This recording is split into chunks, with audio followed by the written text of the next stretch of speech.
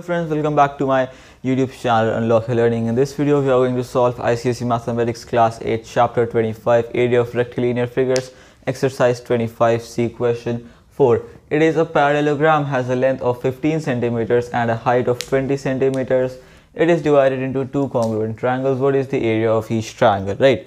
So at first, you might not be able to understand this question, but if you draw the figures, you can see that suppose this is my parallelogram, okay? And what I am doing in this this part is my height okay?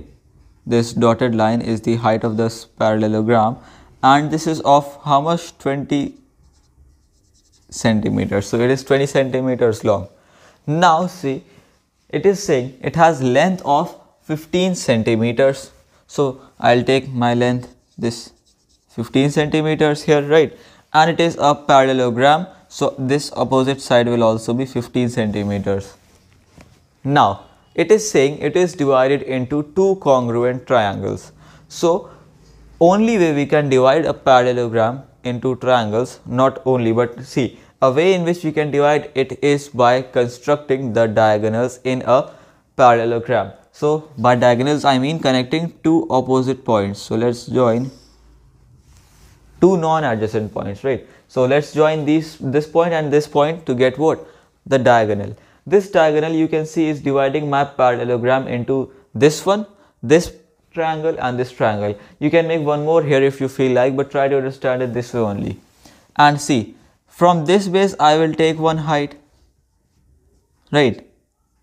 So no matter what your height from what base you are taking but your height will always be same. If this is my base then this will be 20 centimeters and this 15 centimeters same here this will is 20 centimeter. But if you will take it from here and here you might get the different height right? But if you're taking the same opposite sides that are equal then your height is going to be 20 centimeters. So see it is saying it is divided into two congruent triangles. What does congruent triangle means? Congruent triangle means two identical triangles right it can be through the sides through the angles right? But it is identical with each other in the uh, dimensions right? And if all the dimensions are identical then the area will also be the same. That means area of this triangle will be that of this triangle same thing right? So what it is saying what is the area of each triangle. Now out of these two if I can find area of any of the two triangles then I will get the area of each triangle because that will be the area of the other one as well. So very simple see area of triangle is equal to half into base into height. This formula we will be using for uh, this question.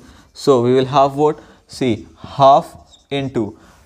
Take any triangle, let's take this one, all the conditions I have, just solve, nothing else. See, base you have 15, so 1 by 2 into 15 now. Height also you have got here, what? 20, so into 20 solves this so you have what 1 this is 10 so this is coming out to be 150 square centimeters and that's your answer and friends this is all for today if you are new to my youtube channel do not forget to subscribe and leave a like on this one. Till then take good care of yourselves and bye bye